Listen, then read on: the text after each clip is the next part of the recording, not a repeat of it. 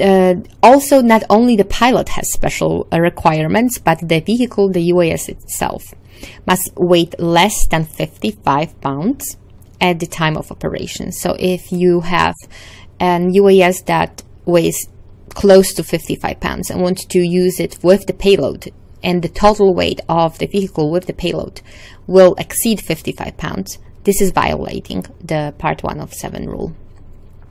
It also must undergo the pre-flight check by remote pilot in command or the person that is supervising. So you always need to check the UAS before operating it. Um, and there is additional rule that um, applied from the beginning of, uh, um, uh, of uh, from um, introducing the Part 107 in August 2016 uh, to May um, 2017 that you have to register the drone. But uh, there was uh, um, there was a um, someone like sued the um, FAA that it's not uh, legal for them to require the registration, and they won. So here you can see that uh, for over periods of time, uh, the um, registration was not a requirement, but uh, the registration is back uh, with the um, th- with third December 13, 2017. So right now, if you have a drone, if you buy a new one, or uh, if you want to use your old one, it has to be registered. It is a fee of five uh, dollars, and it's in a really straightforward process how to register your drone. The commercial use of the UAS also is regulated by where you can fly. So there are requirements of the location.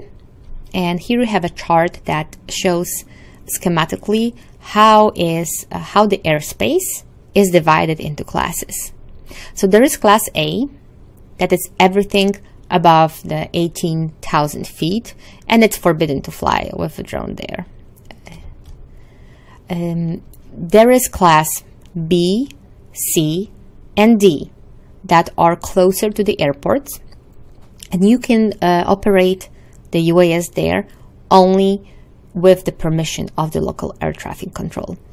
The class B is for the bigger, uh, the biggest airports, and then the C for smaller, and D for uh, even smaller um, airports. You can see that the um, the airspace, the classes, uh, look kind of like upside down uh, layer cakes. So um, the area where the uh, where the airplanes just land, take off or land, is smaller. But then when they are in the air, they need more. Um, the radius of the operations is uh, just bigger. Um, so uh, you will see in a moment how it is um, depicted on the two-dimensional maps how you have to um, read and see the circles where do they um, how does it look like in um, in uh, in reality. So there's uh, also class E and G then uh, where the um, the vehicle um, can operate without uh, notification to the next tower without permission and uh, this is um, uh, class uh, G and E. This is the example of a chart. You can see a lot of circles. The circles represent the um, layers on the layer cake. Um, we're going to talk just a little about that because the, reading the charts is pretty complicated, has a really extensive legend, and we just can't cover it all in one lecture. But if you're interested in uh, taking the uh, Part 107 certification exam, here are the links for the um, for the resources that I found the most helpful in reading uh, charts. One is a short chart reading tutorial. This is a really easy to read, easy to follow not technically dense, a tutorial that uh, explains all the mm, the divisions and uh, of the airspace, and it's really short, uh, written not specifically for pilots, but but for the um, unexperienced users. There is also some uh, course that is uh, compiled by FAA. So you can here see uh, in details the explanation of the airspace. And here is how the legend to the uh, to the this chart looks like, and all the uh, parts of the legend are explained here in the um, um, in this short article. And you can recognize how on the charts what different symbols uh, mean. Uh, the easy way to remember the layer cakes uh, to what group, what class do they refer to is that the solid line always represents higher class than the dashed line and blue line always represents higher class than the magenta line. So this translates to solid blue, class B, solid magenta, class C, then dash blue, class D, and dash magenta, class E. The operating rules for the commercial uses of the UAS, they also need to fly under 400 feet above the ground level, or if they're flying um, at altitude that is higher, they need to stay 400 feet, feet off a structure to avoid the structure. Uh, you cannot fly from a moving vehicle unless you are in the sparsely populated area. And you must fly at or below 100 miles per hour. Uh, this is also important that you have to um, fly during the daylight hours or it is permissible to fly 30 minutes before official sunrise to 30 minutes um, after official sunset in local time, which is called uh, civil twilight hours, but you have to have the appropriate anti-collision lighting. And you always must yield right of way to a manned aircraft that is pretty obvious thing that manned aircraft always have uh, the priority over the uh, UAS. So just get out of the way. Uh, the operator must keep must keep the UAS inside, so in a visual light of sight, and it needs to be done by the remote control, uh, the remote pilot, or um, or by the visual observer. You cannot fly intentionally over people. These rules apply to the all commercial users, but there are some businesses that recognize that it will interfere with what they want to do with the UAS or with the data. So the FAA found a way uh, how to control and how to check the safety of those operations. Uh, so some of the rules that I mentioned before can be waived. So if you want to operate the UAS uh, outside of rules, you may apply for the certificate of waiver. You have here under the link uh, the explanation from the FAA website uh, how to obtain the uh, waivers, how to apply for a waiver, and what are the available sections of the Part 107. So the FAA will grant waivers uh, that can be performed safely, but otherwise will not be allowed after Part 107 concerning the rules that we talked about before. Uh, there are only some sections of the Part 107 that can be waivable. So the operation from a moving, uh, moving vehicle, a daylight operation, visual line of sight aircraft operations, the visual observer, operation in certain airspace, yielding to the right way, operation of multiple small unmanned aircraft systems, because uh, the regular rule in Part 7 is one pilot for one UAS. There is also um, a waiver for operation of the people and operating limitations for the main, um, main aircraft itself. The possibility of obtaining a waiver doesn't necessarily mean granting the waiver. FAA carefully evaluates each request and grants after um, after considering the safety issues, grants or refuses the waiver. You can see here the um, uh, statistics that the most wave applications uh, requests were uh, uh regarding night operations and also approved uh, petitions, uh, mostly vast majority was about um, allowing for night operations. Um, but contrasting to that, operations over people, the 35% of all the requests um, were regarding this section of Part 107, but uh, as of January 2017, only one request have been um, approved. Uh, there was also a lot of uh, requests, almost 20%, to uh, go and fly beyond the visual um, visual line of sight, uh, and only three uh, requests were approved, and it's only for experimental reasons.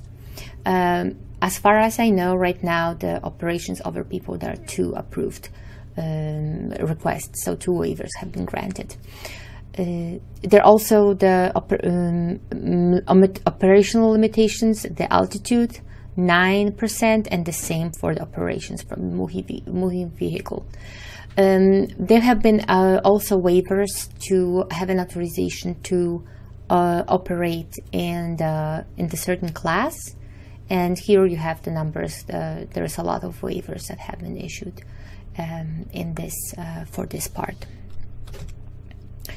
Uh, there is a requirement in uh, in Part 07 that no later than 10 days after the operation, um, th there needs to be a report if any ha accident happen.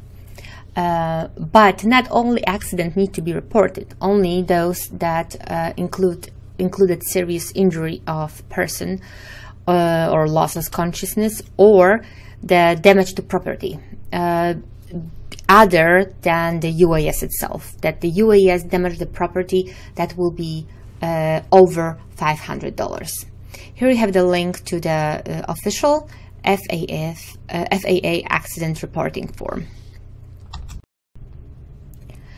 We are moving now to a very important part of the lecture when it's going to be covered where are the places that you're not allowed to fly, fly with your drone, so-called no drone zones, how they're divided, and where to find information about them. There are multiple airspace restrictions. Some of them are security sensitive uh, airspace restrictions. Uh, there are temporary flight restrictions that are there, they are published and they are not there forever, uh, as they're called temporary. They're also restricted or special use airspace. We're going to talk uh, more about each one of them in later slides. Uh, also, the stadium and sporting events they have um, they have different restrictions. Um, uh, special rules uh, about operations. There are also uh, areas with wildfires and airports that have different um, different rules and regulations. The security sensitive airspace restrictions are set forever. They are visible on charts and uh, and you can you can you can check uh, mm, check them on the permanent paper maps as well as the electronic versions of charts. Uh, and the UAS flights there are just prohibited. You can never fly there. The restrictions extend from the ground to uh, 400 feet, uh, feet above ground level, and there are uh, they're applied to all types of um, operations and um, uh, all types, uh, all purposes, uh, and then remain in effect all all the time, 24 hours a day, seven days a week. This is the if you want to see uh, the legal definition of that, you can check uh, the circular uh, published by FAA. There are some uh, zones that are res- the restrictions are there only temporary. They're called TFRs or temporary flight restrictions. And uh, there is here the link to the map and to the list of the uh, TFRs. You can he see here the map of the um, of the TFRs, and you can enlarge uh, the area that is of your interest. As you can see, there are not so many uh, TFRs right now in uh, in use. I mean, uh, active TFRs. There is also uh, a list provided here that you can see the details. Um, I can uh, so here on the lecture. You have a screenshot about one that is near Boston, Massachusetts. Uh, so the uh, area of airspace the, where the travel is limited uh, because of some hazardous condition like wildfire, chemical spill, uh, or security-related event. Sometimes they disclose what uh, what kind of hazard it is. Sometimes it's not, and the TFR contains always the, the, details about the restriction, the size, altitude, time period. this you can see that the, the temporary the, this um, these restrictions are only uh, all from 1130 to 2300 so it's from 730 um, in the um, eastern uh, eastern time. Uh, so it's not um, all around the clock. There is restricted of, or special use airspace and this includes prohibited areas restricted areas, warning areas, and military operation areas. You can find all these uh, definitions on the chart on the airspace map. And the airspace surrounding the Washington, D.C. is the most restricted in the country. You can click here and uh, read more about uh, why is it uh, is it illegal to uh, to fly in the drone in D.C. There are also some alert areas and controlled firing areas CFAs. They're also uh, included in the in the um, updated in the electronic map. Now we move to stadiums and sporting events. So only um, UAS is, uh, operations are, are prohibited within the radius of three nautical miles, but it's only for the venue of the major sporting events like Major League Baseball, uh, National Football League, um, uh, NCAA Division One football and uh, NASCAR Sprint Cup and other uh, races. Uh, and uh, the temporary flight restrictions can be also found uh, on the airspace map. The, the updated electronic maps, not um, of course not on the paper form. And here you have more info. There's a handout about sporting events because it is pretty common that people want to um, peek uh, and use their drones to just um, monitor or see the games. Um, about wildfires, the situation is pretty simple. It is just illegal to fly in the wildfire. Of course, it doesn't uh, apply to the rescue missions and to people that are eligible and are there to help. If uh, but if you fly, we can't. This is the slogan for uh, the private users or recreational users, commercial users to not to avoid the wildfire areas. Uh, within the airports, the recreational uh, operations are required to give notice within five miles both uh, the airport operator and air traffic control tower. Usually on the uh, electronical electronic versions of the maps, there is a phone number provided uh, where you have to uh, um, call the tower. Um, and uh, their recreational operations are not permitted in uh, Class B airspace, so around the biggest uh, um, air, um, mm, air um, airports in uh, the United States. Uh, of course, without a specific air traffic permission and coordination, the airports uh, can have their internal um, surveying or the internal investigations using drones, but they they then people operating drones have special permissions.